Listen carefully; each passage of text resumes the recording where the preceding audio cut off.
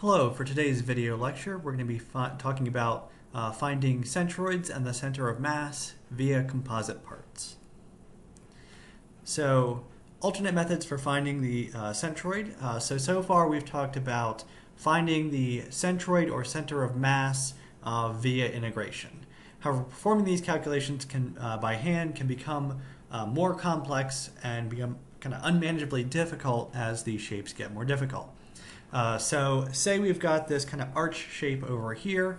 Uh, if I wanted to find this, uh, find the centroid of this shape via integration, I would need to have a mathematical function for the width and for the height of this object uh, as we move left and right and up and down.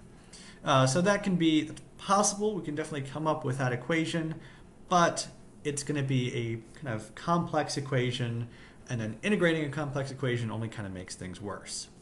All right, so there are other methods. Uh, one solution is to use what's known as the method of composite parts, taking advantage of someone else's work in computing those integrals and kind of using that to your advantage.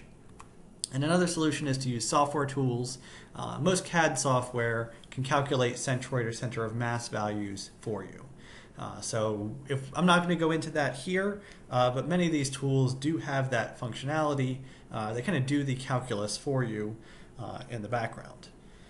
So what we are going to talk about today is the method of composite parts. That's what we are going to try to use as an alternate method to the integration method. So finding the centroid via the method of composite parts. Uh, and the method of composite parts works by breaking down complex shapes into simple shapes. Uh, so that's the comp composite parts piece of this. And each simple shape is going to have a centroid value in kind of a, it's going to have a centroid coordinate in a table of values. Uh, so the values in the table were calculated via integration, uh, leaving things like width, height, radius as general variables. So we integrate a circle and leave the radius as r in that uh, whole value. Uh, so for each shape that we are going to be kind of working with, each, each piece of our body, each simple shape, we need to know the area and we're going to need to know the centroid location, x bar and y bar, uh, in this. All right, so the centroid tables. The centroid tables provide a generalized centroid location for a number of common parts. Uh, they are going to need to be adapted to the exact situation you have. Uh, so let's use the figure from the table to determine the location of our triangle centroid. So say we've got this triangle and we're looking to find the centroid of this triangle in our uh, individual piece. And if we look at the centroid table that we have available with the mechanics map, this is what we have in the table.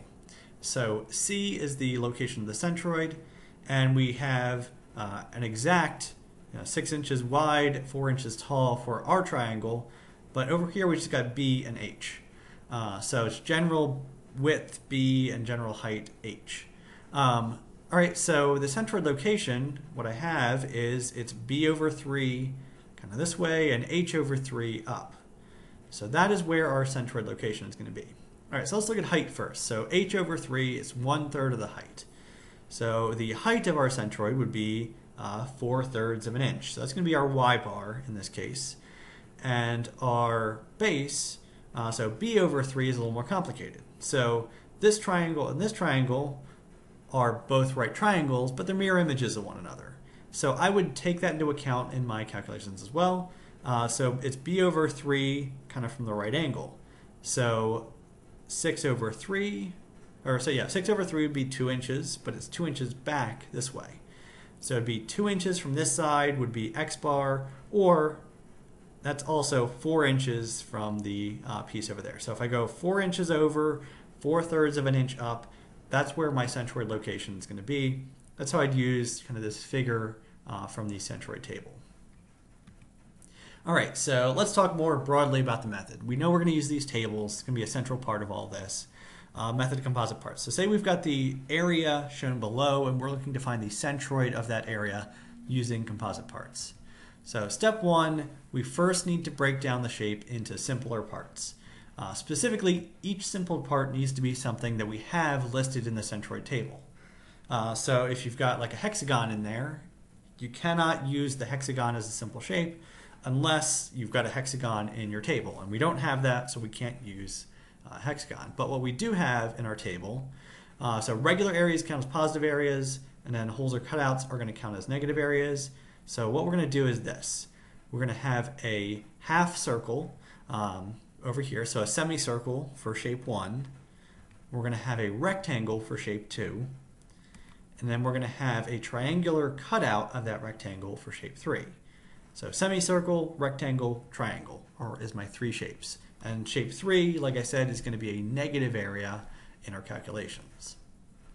All right, so after we kind of divide it up into pieces, uh, we're going to want to number of those shapes as well.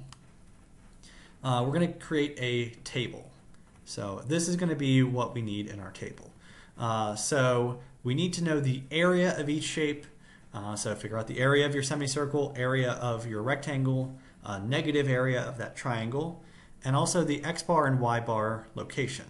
Uh, so these are not just the raw values from the table, they all need to be the x bar and y bar values for that piece relative to a single origin point. So let's put our origin point over here uh, and talk about figuring out x bar and y bar from there. So let's look at shape one first. Uh, so we need to go to our table, and so this is what the semicircle looks like in the centroid table. Um, so here, we'll notice it's kind of rotated 90 degrees. So we need to rotate that mentally in our head. Uh, and we're going to go this key piece of the centroid location. So that's the centroid. It's this 4 over 3 pi r. And it's coming kind of from the flat side of our semicircle. Uh, so I go one radius over, and then I go back 4 over 3 pi times the radius this way. So that's where the centroid is here, and I need to do it relative, so that point what is that point? What is the location of that point relative to my axis over here? So there's a little more math involved, but I can use what I have. If I know the radius, everything is based on that. All right, next for the rectangle. So shape number two. Uh, it is pretty simple. So the center of a rectangle is half the base, half the height. Uh, and what I need to do to get there is I'd have to go all the way, kind of one radius through my semicircle, and I have to go half of the width of my rectangle. So I'd have a radius plus half of the base of my rectangle.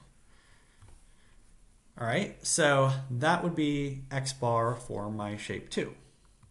All right, so once we get all of those x bar and y bar values, uh, we've filled out our table, so assuming we've got all of this filled up, uh, x bar total is basically going to be area 1 times x bar 1 uh, it's the sum of all these. So area 1 times x bar 1, area 2 times x bar 2, area 3 times x bar 3.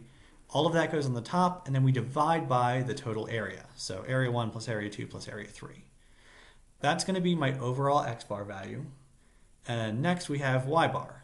So I do the same thing except using the y values. So area 1 times y bar 1 plus area 2 times y bar 2 plus area 3 times y bar 3 Divide that again by the total area. All right, so for a volume, so we've talked about for an area, uh, the centroid calculations for a volume follow the same process, except we're going to be using volumes in place of areas, and we're going to be finding three coordinates. So we're going to have an x bar, a y bar, and a z bar now uh, for all of the individual pieces and also total-wise, so three calculations. So here's our, our volume. We've got kind of a cone on top of a cylinder.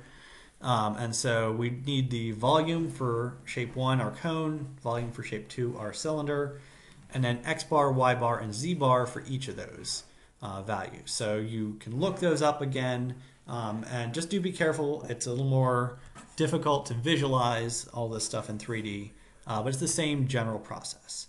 And so in the end, uh, it's going to be more or less the same calculation. So uh, volume 1 times x bar 1 plus volume 2 times x bar 2 over the total volume. Uh, same thing except with y, same thing with, except with z locations. So that'll give you the overall x location, y location, and z location of your 3D centroid. And then finally, center of mass. So the center of mass calculation for composite parts is the same as the volume calculation, except now we're going to be using mass in place of the volume. So say we've got two different materials. I've got like a brass cone on top of an aluminum cylinder. Uh, I'd come up with my table and it's going to be mass instead of volume. This would all be the same.